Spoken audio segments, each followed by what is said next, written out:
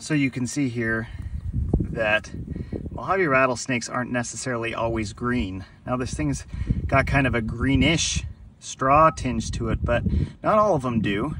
Some are more gray, some are more sandy white, kind of like this soil right here.